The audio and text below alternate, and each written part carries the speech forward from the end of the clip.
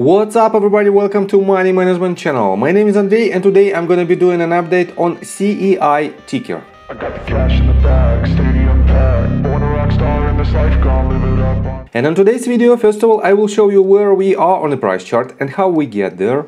Then I will continue with the fundamental news that might drive the price of this uh, company. And at the end of this video, I will share my thoughts and my technical analysis. And I will show you what should we expect next. And before we get into all of that, if you guys would like to earn two free stocks with Moomoo valued up to $7,000, please check out that link in the description below. All you have to do is sign up for an account and deposit as little as $1. This is guaranteed free money. Full details you can see on the screen right now. So let's start with the price chart. I made my previous video right here at the end of March and I've told you that we were forming this uh, bearish channel and we hit uh, for the first time the psychological number of $1 and also it is the confluence with the top of our first wave right here. And it is the confluence with the 0.236 Fibonacci retracement level. If I pull the Fibonacci retracement tool from this top to this bottom. And uh, it is a very strong resistance slash support.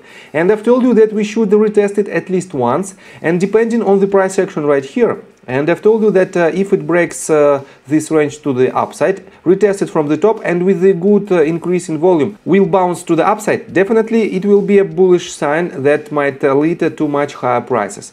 But instead of this, we retested uh, twice again right here at the uh, March on March 23rd on, and on March 24th and we went lower. And I also told you that next range of support should be at roughly 70 cents price point. and we hit uh, this range right here. Let me mark uh, this range uh, properly for you. We hit it right here and barely broke it to the downside at this uh, point. And from this range we had a very good bounce to the upside and we even uh, broke uh, the one dollars uh, resistance but unfortunately we didn't hold it. So definitely it is very impressive price action but will it hold? And what should we expect next? I will show you in just several minutes. And for now let's continue with the fundamental news. I have to say that we don't have uh, major news uh, directly related to CEI and definitely because of uh, the lack of news we can rely only on uh, crude oil prices. And let me show you this article and it was published just uh, one day ago and it's titled Why is Camber Energy stock up today?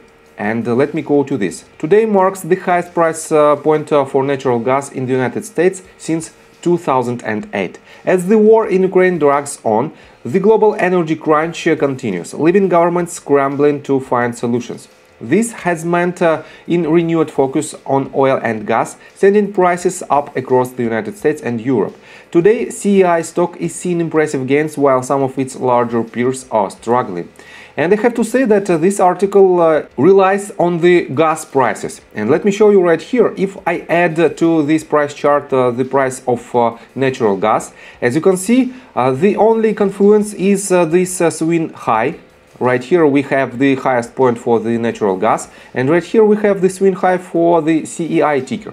But if I add to this price chart the price of uh, crude oil, let me show you and uh, I don't need the gas prices anymore.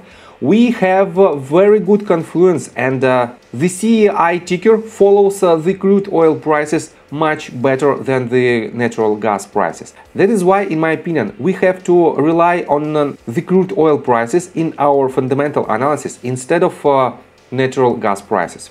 And let me show you right here that uh, from this top to this bottom, as you can see to the bottom of uh, the price uh, of uh, Camber Energy and to the bottom of the price of oil, the CEI ticker bounced to the upside for only 23%, but the oil prices bounced up much higher. And if I pull the Fibonacci retracement tool from this top to the bottom of the oil price, as you can see, oil price broke even golden pocket pattern but then it went lower. And that is why we have to be very cautious with the next uh, potential movement. So and uh, let me show you the uh, support from retail community. On the most active section we have uh, CEI ticker on the eighth place.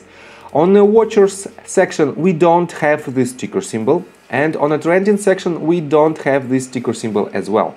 And on apewisdom.io we have Camber Energy on the 66th place and it lost 36 rows during last 24 hours and it has only 15 mentions and uh, the decrease in mentions is uh, more than 55%.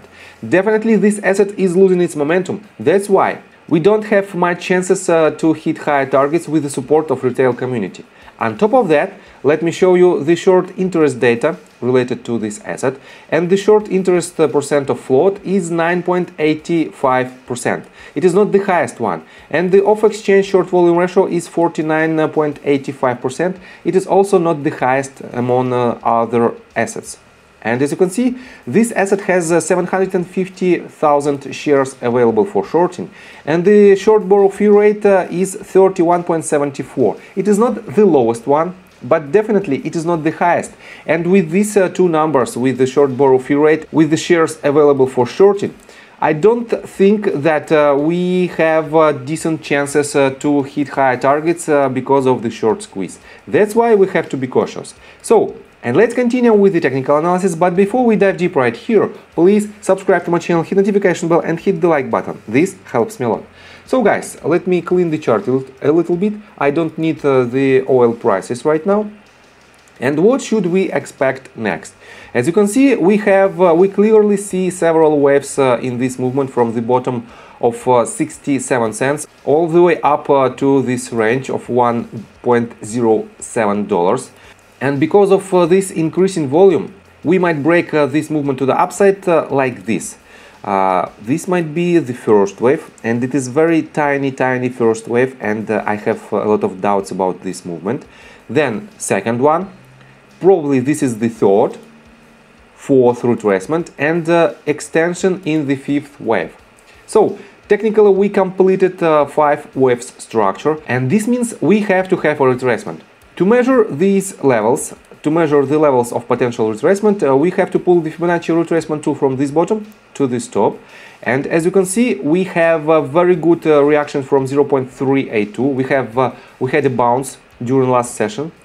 And uh, for now, we are approaching again to this range and most likely, in my opinion, we should break it because uh, the retracement from the top of the wave should have uh, usually should have a shape of simple zigzag.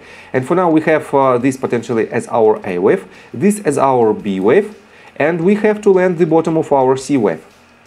And uh, to project the length of the C wave uh, we can pull the Fibonacci extension tool from this top to this bottom and project the length uh, from the top of the B wave.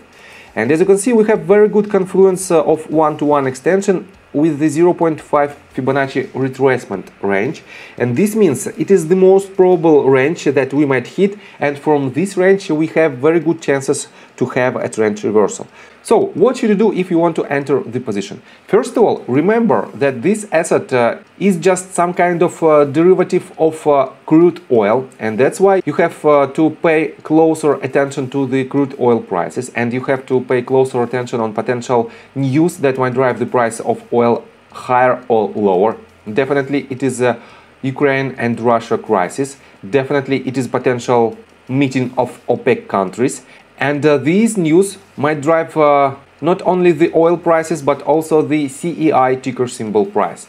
That's why, in my opinion, we have to be very cautious and with the lack of uh, support from retail community, we don't have uh, much chances to hit higher targets. And uh, that's why if uh, we'll go this deep at the range of roughly 87 cents, you can accumulate your position but the price target is not the highest one. First of all, we have to break the top of our previous wave and it is uh, $1.08. And from this range, if we'll go this deep and if you will accumulate uh, your position right here, we might have uh, up to 25% uh, of potential profits. But uh, the most probable range of trend reversal is still the golden pocket range. And for, if we will go this deep, uh, and uh, we will have a trend reversal from this level, we might have uh, up to 32% of upside potential to the previous swing high. So, I think from the technical standpoint that's it for now. If you like my video, please hit the like button and subscribe to my channel with notification bell.